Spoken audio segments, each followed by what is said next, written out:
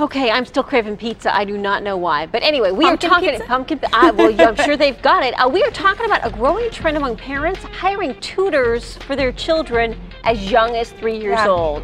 Michelle Yarn joining us from GalTime to talk about this. I cannot believe. I know. Really, for three so much for toddlers and tiaras. Now it's toddlers and tutors. Yeah, that's apparently ridiculous. Well, the thing is, some parents, you know, they're trying to get a jump. Um, you know, preschools are even pushing their schools as it'll, you know, you'll have an Ivy League student if they go to this preschool, which is Yeah, and I've heard something about a preschool interview that these Yeah. children have to you go have to through. interview, and they joke about it on TV all the time. You've seen it on Modern Family. Even Dexter featured it Yes. lately this last um, Yep, episode. I but yeah. we spoke with you know a licensed psychotherapist to talk about this, and they said there are times you can and can't do this. You should do it if your child is really struggling. Maybe they're behind already in progression, um, but not if you're just using it like we mentioned as a means to get ahead. It's really not necessary. And instead, really, you can incorporate learning into your home life. And we've got a list of ways to do this on GalTime. Okay. Things like building up the library collection for the kids, asking open-ended questions. I mean, there are lots of different ways you can do this. So check it out on GalTime, and we put it on our Facebook as well. People have different opinions. Teresa says it's never too soon to learn. Others are arguing with her. So check it out and see what you guys think. Michelle, thank you.